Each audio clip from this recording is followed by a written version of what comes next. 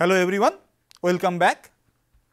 Suppose I am doing a real time PCR experiment and I have 10 samples, maybe uh, 10 tumor samples and I am measuring the level of expression of 2 genes only and I am doing a real time PCR and maybe this is the table or tabular format for that data. So, this is my table and this is gene 1 is one gene, gene 2 is another gene and you have the sample from sample 1 to sample 10. Now, I want to visualize this. I want to see the uh, gene expression behavior of these uh, 10 genes, uh, 10 samples and I have measured for 2 genes. So, what I can do? I can represent this data in a scatter plot, very easy to do. You have already learned how to plot a scatter plot. So, what I will do? I will have Uh, gene 1 suppose in the horizontal axis and the expression of gene 2 in the vertical axis. Now, I have 10 yellow dots here, each of these is a sample. So, this whole space where I have shown the position of each of these sample, each of these yellow dot, I can call this is uh, gene expression space.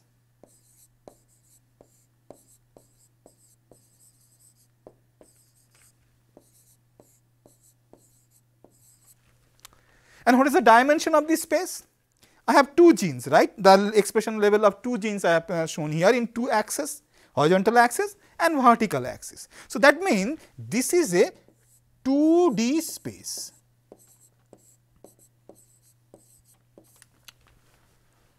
So, this is how usually you uh, uh, visualize data and then you may use some statistical test or some other analysis for example, cluster analysis to find okay cluster in these uh, uh. So, these are maybe one cluster, these may be one cluster something like that. So, you can perform a conventional data analysis on this data. Now, let me add another gene, third gene. So, I am now doing the same experiment, I have the 10 sample, but rather than 2 genes, I am measuring the expression of 3 genes G1, G2 and G3. Now, again I have this tabular data. Now, how should I visualize it? Because remember that okay, I can visualize in 3 dimension that is the maximum I can visualize, but usually we feel more comfortable when we visualize something in 2 dimension. So, you may try something like what I have done here. So, I can take any of these two genes for example, in this first plot what I have done I have taken gene 1 and gene 2. So, I have a 2D space here involving two coordinates one for G1 gene 1 another from the gene 2 and in that I have all these 10 samples. So, this is the way you can see the variation of gene 1 and gene 2 expression simultaneously in 10 samples. Whereas, and the next plot could be you take uh, G1 and G3. So, this may be your second plot and this may be your third plot where you take uh, G3 and G2. So, what you are doing? You are embedding, you are putting your samples in multiple two dimensional space, although you have actually three dimensional data. You have 3 dimension because you have 3 genes that the expression you have measured gene 1, gene 2 and gene 3. But it is easier to visualize in 2 dimension. So, I am breaking down the data and visualizing it in 2 dimension. And in this case also I can actually perform conventional analysis very easily. There is no big deal in this. Now, let me scale up this experiment. I do not want to measure uh, gene expression of 2, 3 or even uh, 4 genes, I want to measure in hundreds and thousands simultaneously. And if I say that immediately it comes to your, come to your mind that okay maybe you should go for a microarray experiments. Okay, let us see a data. Okay, here is a hypothetical data.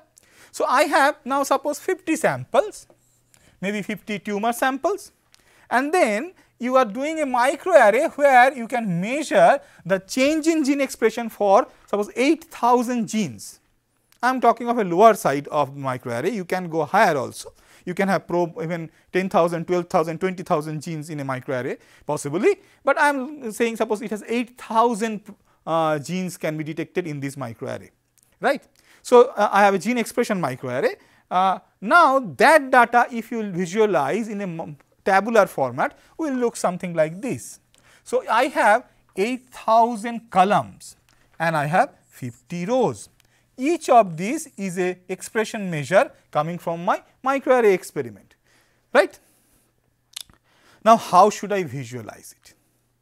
Let me get back in the earlier case where I had 2 genes and 10 sample, I am creating a gene expression space which is 2 dimensional, right. So, you had uh, G1 here and G2 there and each of these point is a sample. So, your sample is positioned or embedded in a two dimensional space, you can visualize, you can do analysis, everything. Now, in this case, if I consider each of these samples is a dot in a gene expression space, what is the dimension of my gene expression space now? Earlier I had two genes, so it was two dimensional. Then I gave the example where I have three genes, so I had three dimensional. But in this case, I have 8000 genes. That means it is a 8000 dimension space, gene expression space. So, that means if I somehow can plot it, imagine I cannot visualize it, but you can suppose I want to uh, plot it somewhere somehow. That means in that plot a sample will be a point in a gene expression space of dimension 8000. Obviously, you cannot visualize it. So, once you have this type of higher dimensional space where you have the data, you land up with two typical problems. What are those? Obviously, the first problem would be the problem in visualization. How should I visualize? If I have three dimensional space, space of gene expression, I could have created three plot the way I have shown, right? One for gene 1, gene 2, one for gene 2, gene 3 and the other one but if I have now 8000 genes. I cannot break them down and create so many two dimensional plot that will be meaningless. Nobody will be able to visualize that and see that and make a meaning out of it. At the same time, I cannot go beyond three dimensional visualization also. So, what should I do with this such a huge dimensional data set? You cannot visualize it directly. This is the first problem. And the second problem is which is not so obvious, but it is a, a, recurring problem is that when your dimension explodes like this from 2 to 3 to 8000, 20,000, right, then the conventional mathematical me methods face problems. So, we cannot use them easily. So, now I have a data set which is very rich in information, but neither I cannot visualize it, neither I cannot properly analyze them mathematically using conventional tools. Let me move further, give you another example of a huge higher dimensional data. This is uh, a example of single cell RNA sequencing. RNA sequencing is becoming almost now a gold standard to uh, study uh, gene expression and you can do that at single cell level. So, what these people have done in their work is that they have taken samples from 44 lung cancer patients and then uh, from each of these sample, each of these patients out of 44, they have um, uh, taken biopsy samples, right. So, they have large number of cell on an average the number of cells per sample is bigger than 10,000. And as per their report the total number of cells that they sequenced in their experiment by RNA-seq method in uh, for all these 44 lung cancer is 2 lakh 8506. So, you can consider I have 2 lakh 8506 samples, right. Each of these cell is a sample and what they did, they did RNA-seq to measure the gene expression level in each of these cell for how many genes? More than 20,000 genes. So, I have more than 2 lakh samples and what is the dimension of gene expression space? Is more than 20,000. So, now let me look into uh, very carefully what is the dimension of this data. Now, if I consider each of these sample as a point in the data space, right, then the dimension is greater than 20,000. So, that each data point, each sample is in a gene expression space of dimension greater than 20,000. In two dimensional gene expression experiment, I have two axes, two coordinates, gene 1 and gene 2. Now you have more than 20,000 coordinates. It's a huge dimensional system, right? You can invert it also.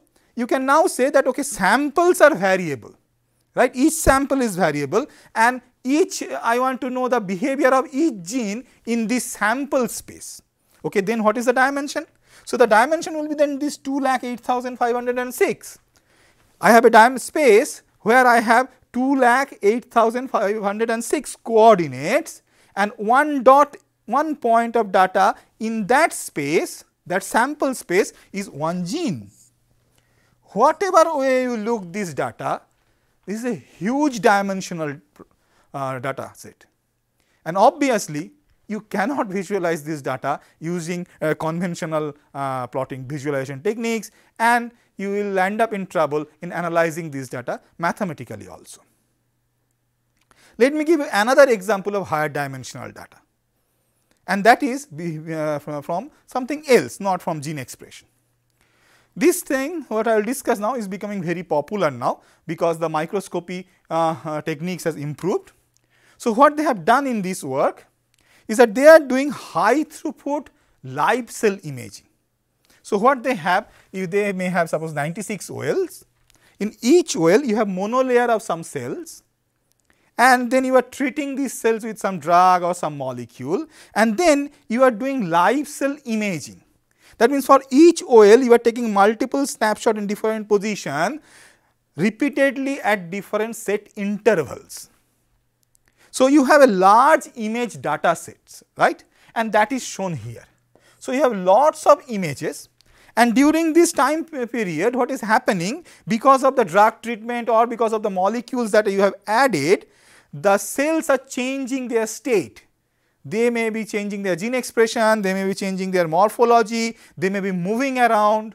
So, you have now this large number of images coming from these single OLs and these are time dependent images. So, the next step usually what you will do from these images you have to use some segmentation algorithm so that the machine can identify each of these cells distinctly. And then again these individual cells are live and many of them may be migrating moving. So, you should have a tracking algorithm to track how one particular cell is moving from one position to another. Now, suppose they you have done that the way they have done it here. Now, if my question is something like this, I know during this process, during this experimental time, many of these cells they change their morphology and that morphology change has a biological meaning, there is a biological effect. So, I want to track with time how different cells are not only moving around, but at the same time they are changing their morphology. Now, morphology when you talk of it seems so easy to identify. If you look into uh, one particular uh, image of multiple cell, you may point out, okay, you may say, okay, see, look at this uh, circular cell. That cell may not be circular, but I as a human being intuitively will understand what do you mean by that. But when you are doing mathematical analysis using a computer algorithm, you require precise numerical quantitative data. So, there are hundreds of different numerical quantity which we call a descriptor or features which you can extract from these images those can be used to define the morphology of a cell. I will give a few example for example, uh, area may be one descriptor, length may be one descriptor, radius may be one descriptor, uh, eccentricity may be another descriptor, granularity, contrast, intensity, all these things can be a imaging feature or descriptor to uh, for a particular cell morphology. Now, this image analysis algorithm they extract hundreds and thousands of such uh, descriptor morphological descript, descriptor uh, from, from each cell. So, now you can imagine I will have a table suppose I have uh, 2 lakh cells. So, I have 2 lakh rows and for each cell I have multiple columns each column has a quantitative value for all these suppose in this case uh, almost 500 descriptor or features. So, all these features define a particular cell. So, what is the dimensionality of this data? Suppose I want to define a cell just by its eccentricity and area, then I can have a two dimensional space where eccentricity may be in one axis horizontal uh, one and the area in the vertical axis and one cell will be a single dot here, another cell will be single dot here, another cell something like that. So, you may have 10 lakh dot or 20 lakh dots all are individual cells in two dimensional space. But in this example they have almost 500 features. So, the dimensionality of this space, this feature space is now more than 500 and in that each cell is embedded, each individual cell is embedded. So, again we landed up in a higher dimensional space and we will face the same trouble of visualization and analysis. So, I gave you three examples, one from microarray, another from the RNA-seq and this one is from image analysis. All these are high throughput techniques and they generate a huge dimensional data set, very high dimensional data set. So, how should we tackle the problem of visualization and analysis of this higher dimensional data? This is not just unique to biology, in many other field of science and technology, you will find this problem. So, the generic solution to handle this problem is to reduce the dimension of data. So, how do you reduce? Suppose I have 1000 or 500 or 20,000 some value, some very high value of uh, dimensions like that means the space of the data has so many coordinate axes. So, what you do your mathematical algorithm what it will do is that it will create new dimensions by combining the real and existing dimension. That may uh, seems now a bit unusual to you, but in separate videos when I will discuss about the method it will be very clear. So, what they are doing the algorithm, the algorithm dimension reduction algorithms will do, they will combine the existing dimensions which are very large in number to create some new dimension. And they will do such a way that the number of new dimension is much lesser than the number of original dimension. That I have to achieve, right. And then what I will do, I will project or embed my data from that higher dimension to this reduced dimension, as simple as that. If I uh, explain a bit more, suppose I have a 3 dimensional space.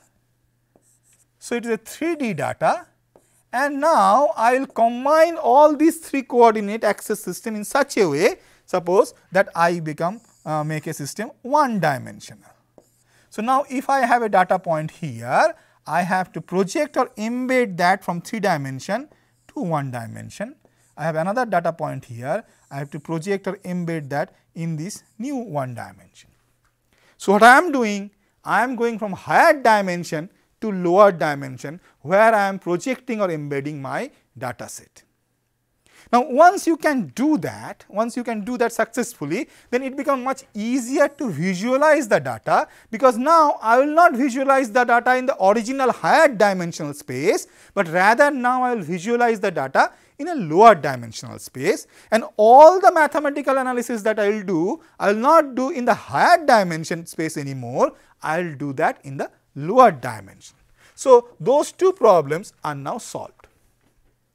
Now, when you do this type of uh, method, use, use this type of method which we call dimension reduction method, we have to remember that there may be some loss of information during this reduction of dimension and you have the algorithm should take care that the reduction in dimension should lead only to minimum loss of relevant information. Now, let me go back to that RNA-seq experimental uh, work and the image analysis thing to explain that uh, what do I mean uh, in reduction of dimension. So, what they did? They did a use a technique in this case called t-SNE and we will discuss that in another lecture. This is a dimension reduction technique and I have shown a partial data of that uh, analysis. So, what you have you have if you remember we have uh, more than 2 lakh cells right and if I have different samples. So, uh, suppose these are all coming from the tumor in lung, this sample set. So, they have 45,000 cells and if you remember we have done RNA-seq for individual cells. So, in my and the number of genes that I have uh, is in essentially the expression I have measured is more than 20,000.